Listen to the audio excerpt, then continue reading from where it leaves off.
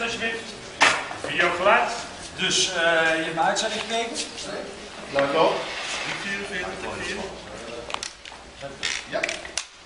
En actie. Hoe is het om quizmaster te zijn? Ja, dat is heel leuk. Ik heb gisteren de hele dag uh, echt een, een, een, vette, volle, Duitse-achtige slager quizmaster gespeeld. En daar heb ik heel erg van genoten. Zoveel dat de hele crew zei, het is wel wat voor jou. Dus uh, ja, nee, ik vind het heel leuk. Nou, de set. Ja. De tweede show. De tweede show. Ja. Uh, volgens de maker is niet op elke vraag een antwoord. Op welke vraag is geen antwoord? ja, daar kan ik nu geen antwoord op geven. Uh, er zijn een hoop vragen waar geen antwoord is, op is natuurlijk. Hè. Want hoe is, hoe is het heelal ontstaan? En, uh, ja, noem maar op.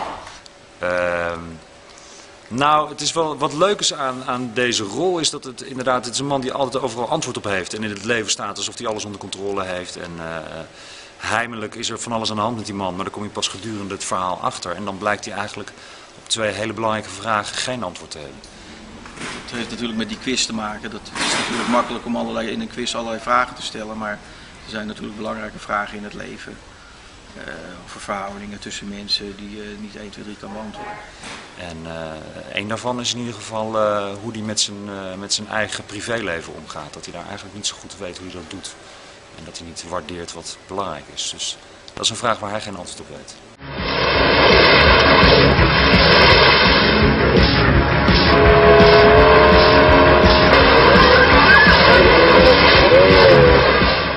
Is dit een typische Dick Maas film?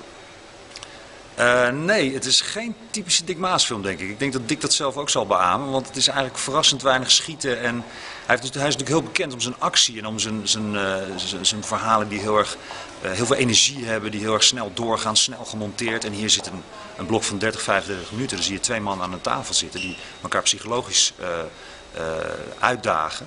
En dat is iets wat Dick eigenlijk nog nooit gedaan heeft. Dus volgens mij was hij ook wel behoorlijk ja, wel, was hij wel, keek je daar wel tegenop van oké, okay, hoe, ga ik dat doen voor het eerst? Dus de, het, is meer, het, het, vereist ook meer acteursregie dan die normaal misschien gedaan heeft. Het, het, het is eigenlijk voornamelijk uh, een, uh, uh, ja, de, tussen twee acteurs. Je zit, je zit een hele tijd naar twee acteurs te kijken, hè, voor een groot deel. En, en wat daartussen gebeurt en daar is, het verhaal wat daartussen zich afspeelt. Had je zin om het op een andere boeg te gooien? Uh, nee, want ik heb, uh, ik heb hierna alweer een script klaar. Dat is weer een hele een grote, uh, grote spektakelfilm. dus dit is dus eigenlijk begonnen dat ik eigenlijk iets eenvoudigs wilde maken. Een wat kleinere film. Die naar mijn idee wat simpeler te financieren was en sneller te draaien. En daar is dit toen uitgekomen. En gebeurt er ook nog iets onder water? Wat vindt er onder water plaats? Ja, ja er gebeurt er wel gebeuren, een hele essentiële dingen gebeuren onder water. In het algemeen bedoel je ook in deze film? Ja, ik, uh, ik word uh, eigenlijk gechanteerd door een, een, een man. En uh, daar heeft het water heel veel mee te maken. Maar daar kun je verder weer niks over zeggen Daar mag ik niks over zeggen. De quiz heet Klaar voor onder water. Dat is de, de, de naam van de quiz die Barry presenteert als quizmaster.